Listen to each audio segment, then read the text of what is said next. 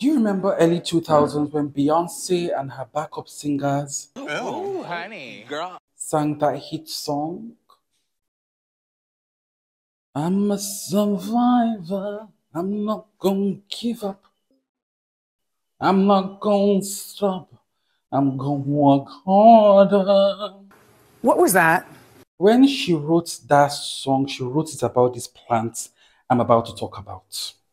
Because these plants are survivors. These plants have such a strong will to live, regardless of the obstacles. They're like, I'm a survivor.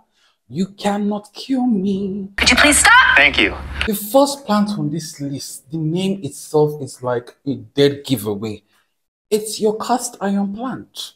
This plant has made an appearance on several of my videos and for good reason because when you hear that a plant is named cast iron or is named after a cast iron skillet, that should imply that the plant is just as indestructible. And it goes without saying that this is truly, truly, truly an indestructible plant. There are moments in my life I have to stop and I look at this plant and I ask, is this an actual plant? Or is this a living organism? Because this plant truly takes neglect and just chills. I have gone weeks without watering this plant on several locations. I have kept this plant in like pitch darkness. I have pretty much treated this plant. This particular specimen, as you see, I've treated her like trash for two years. I only just started recently taking care of her. But the point is, she survived. She's a survivor. She's not gonna give up. So yes, this is a plant that is tough. I don't think I know of anyone that has unalived a cast iron plant. And if you have, um, that's fine. Yeah, but yeah, this plant is extremely hardy, tough as nails, and I could not start this video without including this mamacita. All right. Okay, babes, this next plant I actually do not have, but as somebody who offers both in-person and virtual consultation services, I have encountered this plant in my customers or clients' houses. And it is the one plant that they subject to all manner of things, but it still hangs in there. Like it looks like a hot mess, but it still hangs in there. Babes, it is the lucky bamboo bamboo. And by lucky bamboo, I mean specifically the ones grown in water. I have met clients that the last time they changed the water in their jars has been months. So the plant is pretty barely even growing in water. And it's pretty much growing in an algae cesspool. Oh my god! But the plant is still hanging in there. It looks like a hot mess, but it is still alive. I've met clients that have kept theirs in like the darkest of corners in their dark bathrooms, away from light, away from ventilation. But it is still alive. Like I've honestly just come to the conclusion that that plant just does not want to pass away. And it is one plant I usually strongly recommend to clients or people that are just looking for a decorative life plant. They're not looking for something that is potentially going to thrive. They're just looking for something that is alive and inanimate. Lucky Um, bamboo. Yes. This next plant comes from a genus that has broken so many hearts. A genus that has scarred so many people. Like it's a, a genus of plants that are generally cute and they look innocent, but everyone that has bought a plant from this genus has probably lost several of them. But for some strange reason, this one is as tough as nails. Without much ado, babes, is the peperomia obtusifolia? yes, I know peperomias have scarred you. I know peperomias have broken your heart. But this girly, this your basic, classic, the most common peperomia you ever encounter, this mama is tough. This mama is tough. Like, like there are times I literally forget, and I'm not, not even I'm not even being dramatic, but I forget I own this plant. Like literally, I just remember that, that this plant existed in my collection maybe like two weeks ago. It was dumped somewhere, and I literally forgot that the plant was even still in existence. And babes is still hanging in there. She's even flowering. Look at the flower. So this is definitely one of those plants that um is tough as Neil, She's a resilient girly. And I've even come to realize that she doesn't even need a ton of light because where I kept her although outdoors was like in a place where she, I didn't feel like she was getting optimum light. Yet she was she was she was still alive. She was still alive and she is still alive. Peperomia obtusifolia. She's definitely the hardiest of all the other peperomias I've ever grown in my care. And in my opinion, she's a survivor. She's not gonna give up. She's not gonna stop. She's gonna work harder. This next plant will leave some of the girlies shooketh. In fact, because it it's from a genus of plant that has a reputation of being divas, of being problematic, of being notorious. But I wouldn't be completely honest with you if I didn't include this plant in this list, babes. Because even though she comes from a problematic family, she's not like the other girlies in her family. No? She's different. She's mindful. She's demure. Without much ado, babes, it's the Calathea network, babes. Yes, I know you're clutching your pearls at this very moment, but this auntie here, sometimes I ask myself, are you really Calathea? Did they make a mistake? Did they, did they, did they classify you in the wrong genus? Because this babe is extremely hardy and, you know, and takes neglect like a champ. Unlike other plants in her genus that will not take neglect at the slightest, they start having that very annoying browning tips and you know just start looking like a hot mess. This one can go a fair amount taking neglect. Sometimes, you know, and you're gonna hear this a lot often in this video. I forget that this plant exists.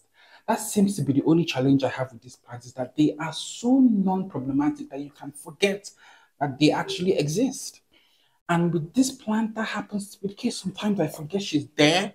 And I'm like, oh my goodness gracious, I haven't watered this auntie in three years. Three years is a stretch, but I haven't watered her in a while. And she's still hanging in there. She's still alive. She's she's a survivor. She's not going to give up. If you've been scarred by calatheas, give this auntie a try. She's known for sea. I pretty much used tap water with this plant and she's still hanging in there. So she's a survivor and she's not going to give up. Yeah.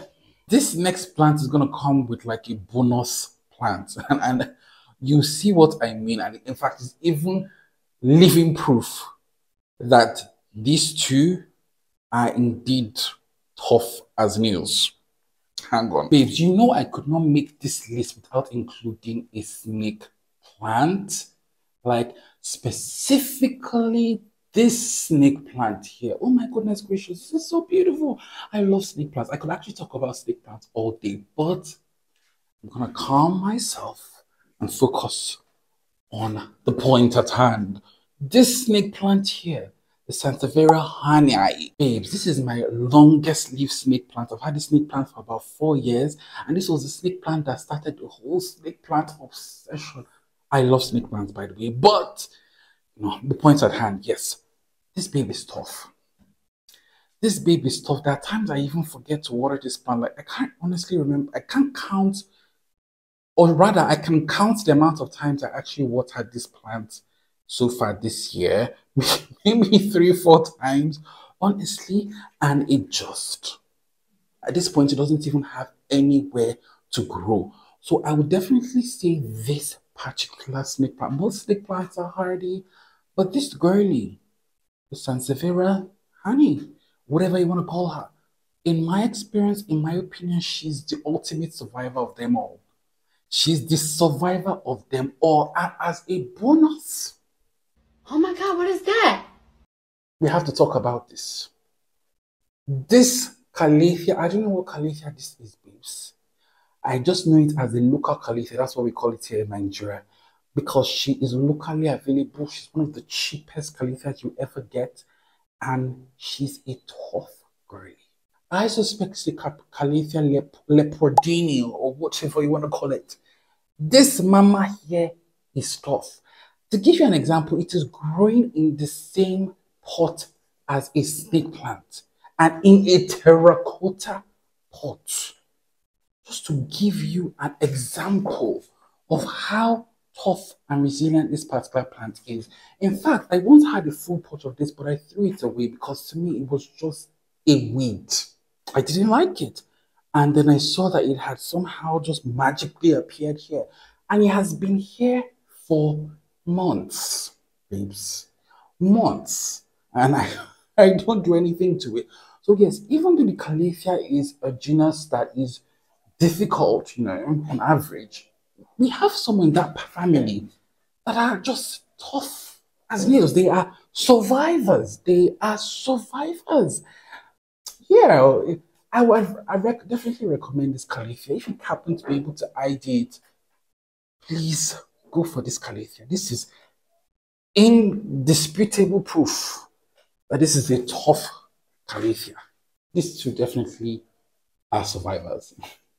So, babes, I am sweating like a Christmas goat, as we see in this part of the world. So, the next plant is behind me. I do not have the energy to pick her up, so we're just going to go down to where she is so we can have a better look. Let's go. Babes, I surely could not round up this video without mentioning this auntie here because she is the true definition of being a survivor to the point that she even becomes a nuisance in your life. This is a Philodendron Burle Marx. Like I have said when talking about this plant, this plant is a weed, is considered a weed in most outdoor gardens in this part of the world. Like she can easily take over your garden and she can easily, you know, lead to an infestation of your garden and your other plants. So generally, I have kept her contained in soil and in this pot, and I haven't reported her in two to three years at this point. You know, barely fertilized. I've just done everything I can to keep her contained and from becoming a nuisance in my garden, basically. And she is just hanging in there and doing her thing. So this is a plant that I subject to extreme neglect. Sis just won't die.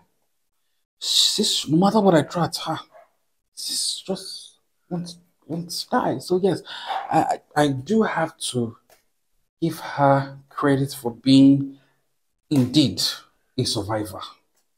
Indeed, a survivor. Yeah. So, yeah. Hell. Anyways, guys, we have come to the end of this video and I hope you enjoyed it and I hope you liked it. I'm curious to know your thoughts. Have you ever grown any one of these plants before? What has been your experience? You know, just let's continue this conversation in the comment section as usual and I'll see you there and I'll also see you in the next video. But for now, bye-bye.